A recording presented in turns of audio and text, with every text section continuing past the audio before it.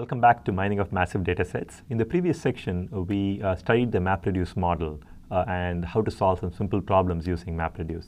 In this section, we're going to go under the hood of a MapReduce system and understand how it actually works. Um, just to uh, refresh your memory, um, um, uh, a MapReduce system um, has uh, a simple MapReduce process has three steps.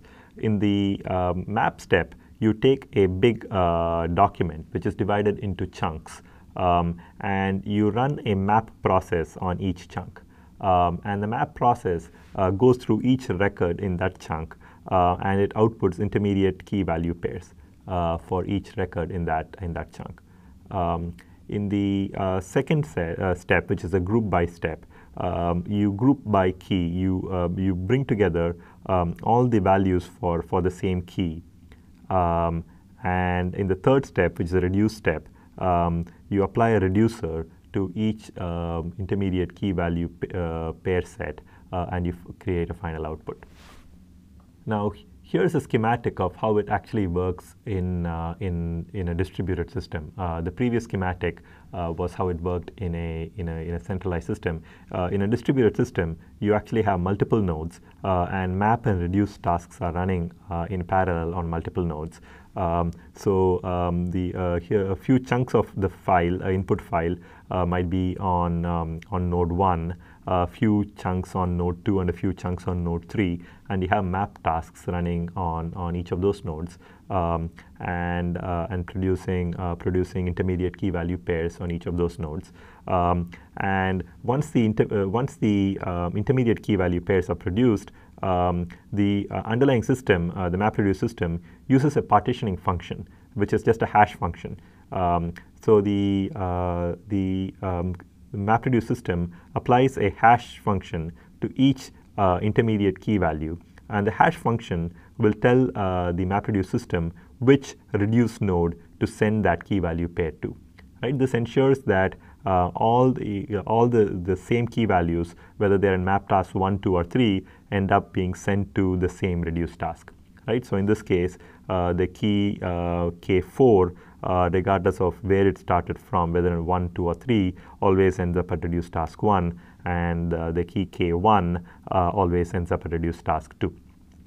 Now, once, uh, once the reduced task has, uh, a reduced task has received input from all, from all the map tasks, uh, all the map tasks have completed, then you can start the reduced tasks. Uh, and uh, the, the reduced tasks first job is, is to sort um, its input and group it together by key. Uh, and so in this case, uh, there are three values associated with the key, uh, key K4. They're all grouped together. Uh, and once that is done, the reduce task then invokes the reduce function, which is provided by the programmer um, on each, um, each such uh, group and creates the final output. Okay. So uh, remember, the programmer provides two functions, map and reduce, and specifies the input file. Uh, the MapReduce environment take, has to take care of a bunch of things. Uh, it takes care of partitioning the input data, uh, scheduling the program's execution on a set of machines, figuring out where the map tasks run, where the reduce tasks run, and so on. Um, it performs a, uh, the intermediate group by step.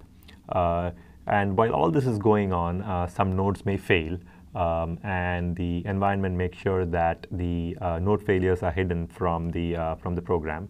Um, and finally, the uh, MapReduce environment also manages all the required inter-machine communication.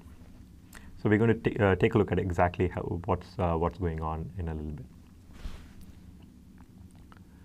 So let's look at the data flow that's associated with, uh, with, with MapReduce. Um, now the, the input and the final output of a MapReduce program are stored on the distributed file system.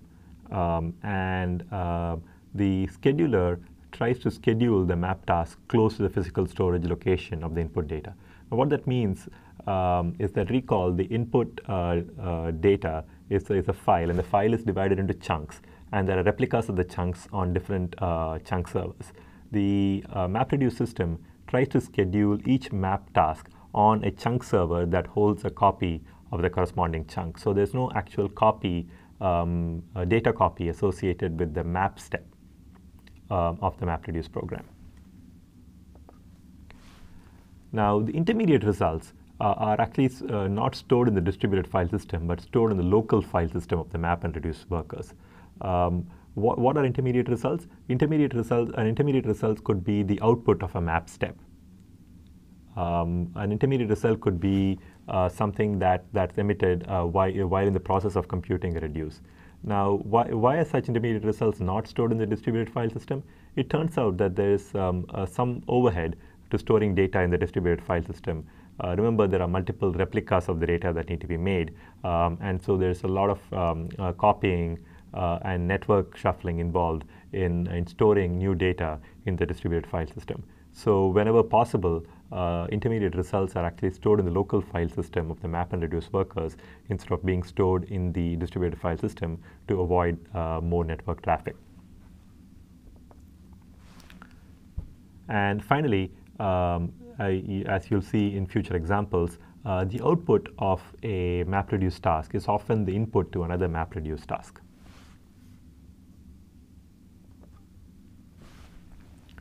Now the master node takes care of all uh, the coordination aspects of a MapReduce job. Uh, the master node keeps, um, you know, associates a task status with each task. A task is either a map task or a reduce task.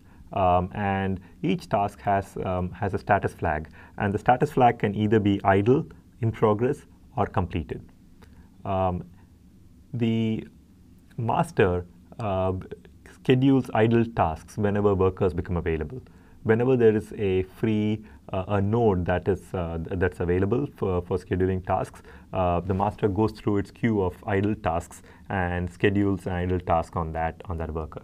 Um, when the when a map task completes, it sends the um, the the master the location and sizes of its uh, uh, the R intermediate files that it that it creates. Now, uh, why R intermediate files? There's one intermediate file that's created for each reducer uh, because the data, the output of the mapper has to be shipped to each of the reducers depending on the, on the key value. Uh, and so there are R intermediate files, one for each reducer. So when, the, when a map task completes, it, uh, let it, it, it stores the R intermediate files on its local file system, and it lets the master know what the names of those files are. Uh, the master pushes this inf information to the reducers. Once the reducers know that all the mappers uh, uh, map tasks have completed, then they copy the um, intermediate files from each of the map tasks, um, and then they can proceed with their work. Now, the master also uh, periodically pings uh, the workers to detect whether a worker has failed. And if a worker has failed, the, the master has to do something, and we're going to see what that something is. If a map worker fails, then the all the map tasks that were scheduled uh, on that uh, on that map worker may have failed. So the uh, the tricky thing is that the output of a map task is written to the local file system of the of the map worker. So if a map worker fails, so then the node um, fails, uh, then all the intermediate output created by all the map tasks that have run on that worker are lost.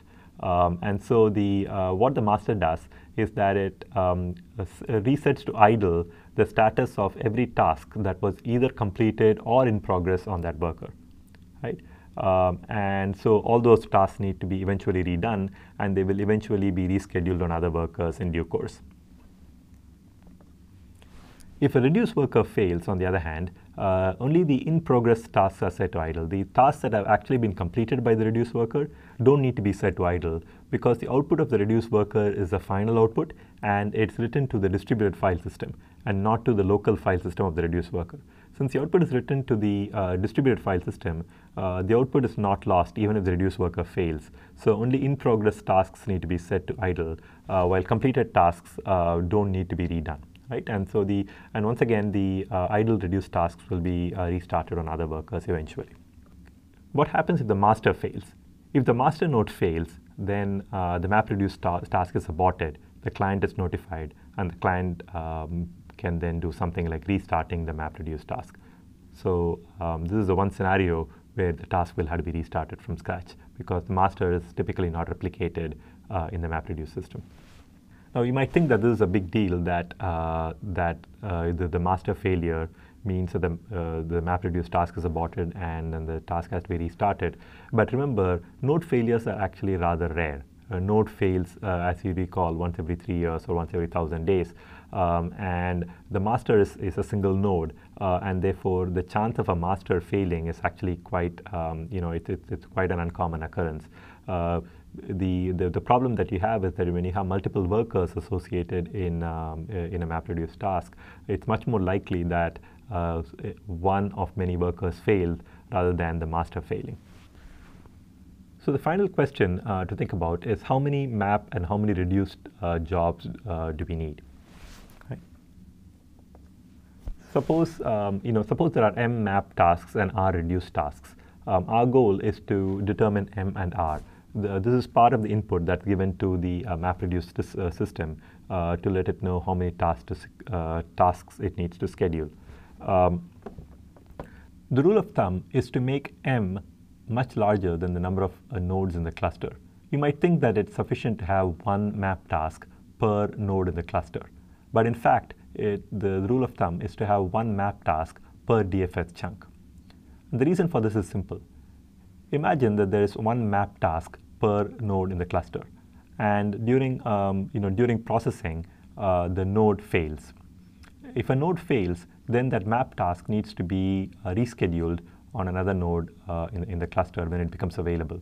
Now, so since all the other nodes are processing, uh, you know, uh, one of the map tasks has to, uh, uh one of those nodes has to complete before this map task can be scheduled on that node. And so the entire um, computation is slowed down um, by the time it takes to you know, complete this map task, the failed, redo the failed map task.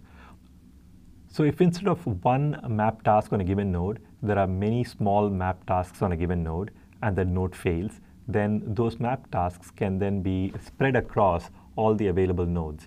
Uh, and so the entire task will complete much faster. On the other hand, the number of reducers R is usually smaller than uh, M uh, and is usually even smaller than the total number of nodes in the system. Uh, and this is because the, uh, the output file is um, spread across um, spread across R nodes, where R is the number of reducers. Um, and uh, if um, it's usually convenient to have the output um, spread across a small number of nodes rather than across a large number of nodes. Um, and so usually R is set to a smaller value than M.